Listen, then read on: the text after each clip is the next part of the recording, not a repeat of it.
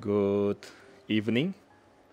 Today we meet again, and this time I would like to test some tubes. You know, it is very easy to get tubes from the open market, but it is very hard to understand the quality of the tube. You can easily buy tubes from online shop like eBay or any other marketplace. Like I have a bunch of the tubes here from Sylvania and some of them from GE which is probably the same with the Sylvania as well and this one it has like triple mica one two three and yeah a lot of differences across this tube and it is not easy to understand the quality. So what I'm trying to do is today I will be testing this tube with my uTracer here. So this is my uTracer this uTracer actually able to test the tube uh, with a pulse signal. It has capability up to a thousand volt. This is the newest version from Ronald Dekker, the creator. This one has capability up to like one uh, ampere of current and a thousand volt of voltage. And so far I'm quite happy with the build quality I built the version 3 which is only up to 300 uh, 400 volts but I purchased the newer version with a 1000 volt capability and so far I'm quite happy with it. So it is very straightforward.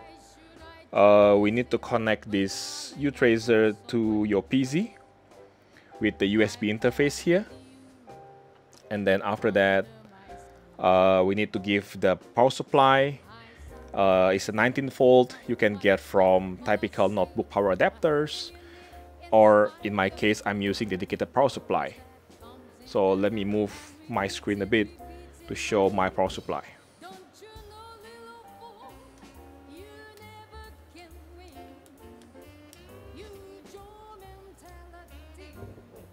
This is my power supply running at 19.5 volts on the left side.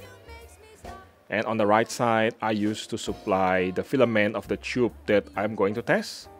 In this case, with like 12 AU series, it will be using 6.3 volts. And I give a bit of extra 0.1 volts because the cable usually will have some resistance and drop the voltage a bit.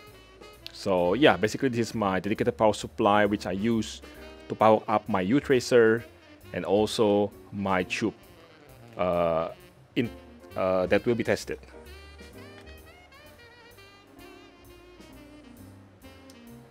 Okay, so let's start. So actually very simple. When you want to uh, test this kind of tube, you need to make sure that you have the datasheet of the tube. In this case, we would like to test this tube uh, Raytheon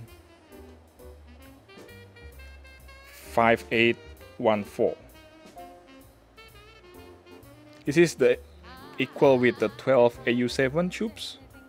So we can use 12 AU7 tubes datasheet in order to test this tube. Okay, uh, how to read the tube actually very straightforward we have a data sheet of example Tungsol 5814 uh, tubes.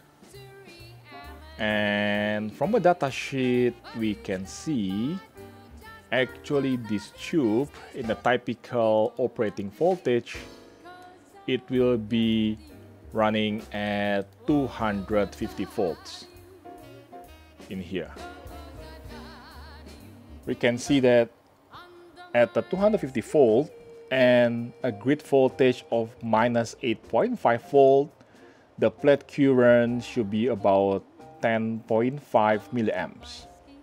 And the transconductance will be about 2002 and the amplification factor about 17. Right, so by reading this kind of uh, data sheet, we can start testing our tubes with the same parameters. So if the tubes actually are able to show the same or similar parameters with this data sheet, so we can have some basic assumption, then the tube is very close to a new condition. So without further ado, let's power up the tube and start testing it. So first, what we are trying to do is, let's find the tube here. The Raytheon. And then let's start plugging in to the tube socket. Like this.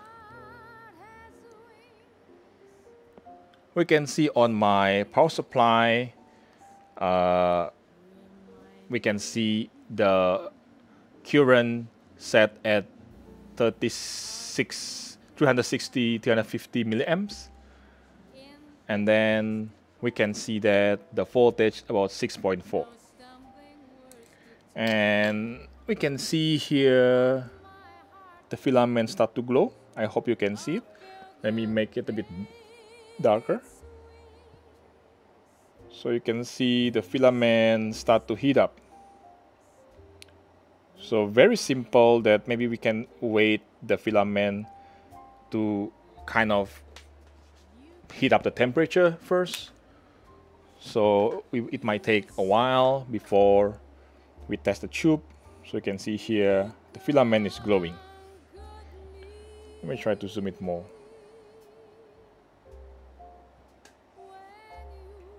Yeah, the filament is glowing so we can we can give a bit like one minutes warming up to make sure that the tube has reached the good temperature at the same time the testing result should be more stable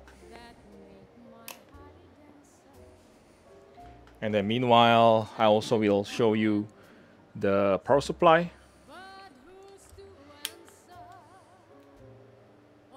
So you can see here the power supply, the tube is drawing 350 milliamps at 6.4 volts. Okay. So let's bring back.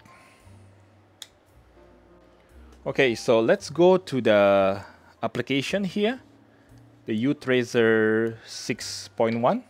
So some of you might be asking, what is this, right? This is not a laptop, not a PC, but basically it's a bare bone. Uh, I use from the second hand, I built from the second hand laptop. I tear down all the, the, the chassis, right? And then I just use the acrylic, uh, put the LCD, put the motherboard on the back. So it just simply like that. I think it, it's good because I need to have some uh, smaller space, right, in, in, in the table. So basically this is what we have. So to test it, let's click the heater on first here. And then let's just do a quick test. So we can see again in the data sheet, if you still remember, we need to set 250 for the volt here, 250. And then the grid voltage, if you still remember again, we should be setting at 8.5 and then let's put the name 5814 Raytheon. Cool. So let's start testing. Take a test. It will take a while before the result will be there. Right. So we need to define it first because like in here, we are seeing 10.5 milliamps should be at the 100% approximate. So we also need to put here like uh, 10.5 as 100% level. Same here. Okay, so we start test again. See the tubes running at 98 and 101 percentage. This tube is very close uh, the first triode and second triode and is considerably quite matched. So yeah, this is basically a good tube. We can use another test to check. Sometimes I repeat the test few times, but normally again the result is quite consistent. 98 and 101.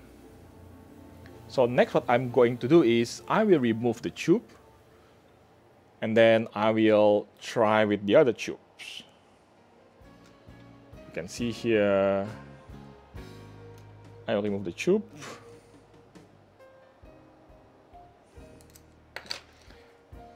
It's not too hot, but still I use the small tissue to remove the tubes and then let's try the other tube where is that? This one?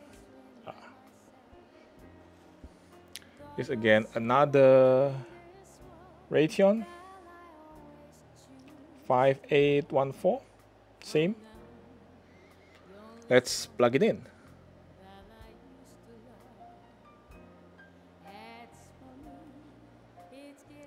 Let's again do the same thing. Let's wait for a couple of minutes before we start testing it.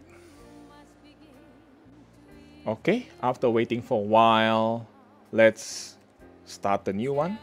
And then we can see uh, the same interface here, but let's put the name Raytheon 2.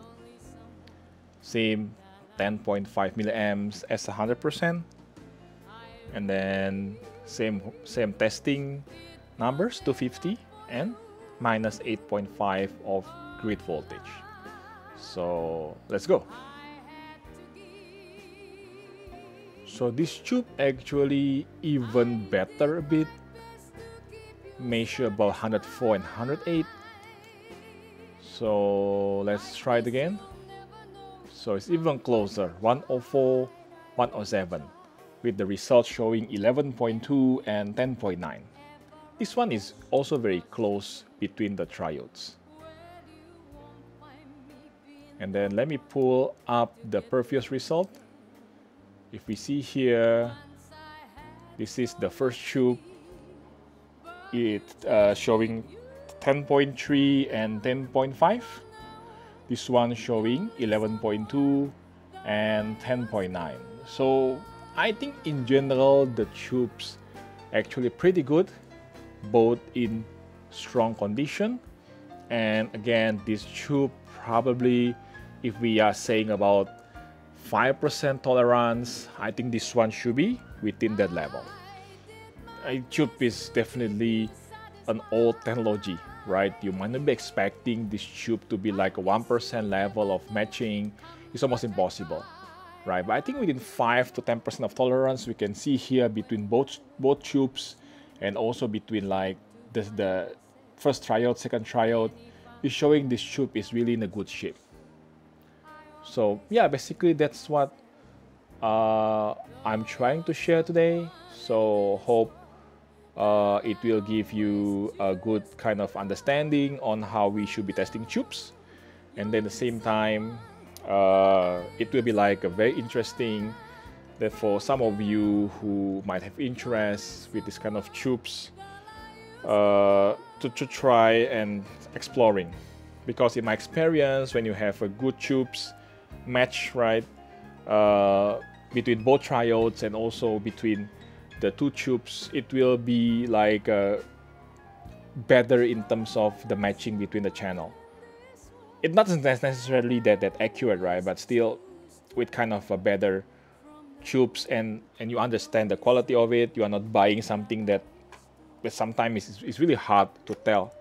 Even like this tube, you can see here, it's it's pretty pretty good tubes. This one I bought from Japan. Let me see if I can zoom it out a bit. This is if we see the box, it is like it's not too expensive. I bought it like 3005 yen long time back. It is 5814 Toshiba, but the label should be Matsuda. Matsuda, they call it Matsushita and Toshiba. And this is the logo. I think it's not easy to, to see, right, this logo. This is unique logo. I hope you can see it. It's a bit hard to see. Yeah, this is the logo.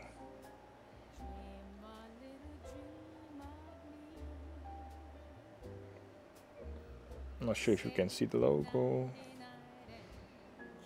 Yeah, this logo actually Matsuda.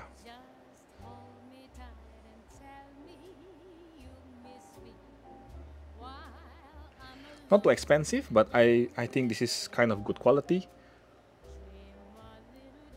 With a triple mica and two side support here and here and quite unique getter as well. It's a square, I think, D getter. Quite unique tube, black plates. And yeah, sometimes you never know. You just buy tube, it's not expensive, but sometimes you don't know the quality. It, it might be good, it might be bad, but without testing this kind of tube, it's hard for you to judge.